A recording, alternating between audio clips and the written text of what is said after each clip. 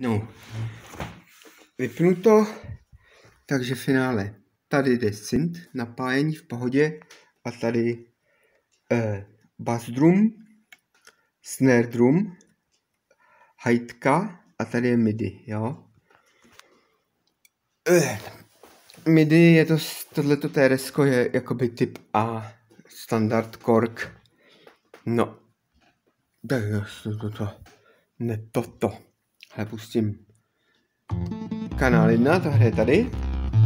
To je samotný semka. Tady musí být tohle vypnutý. Rytmus, jinak to jde taky dohromady s tím men. Uh, no a tady jsou zvlášť vole kopák. Hajtka. A tady snare jeden a snare druhý. Jakoby jedna komponenta, druhá komponenta tam jsou vlastně dva piny, tady, tady na ten jack, takže to je jakoby stereo, ale není to jako levá pravá, ale je to obsazený celý, takže si to pak musí zpátky smíchat.